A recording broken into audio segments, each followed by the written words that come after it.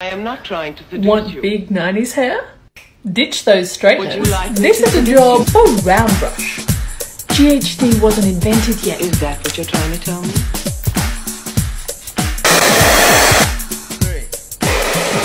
Get your look for me. This one's cool. Straight side palm.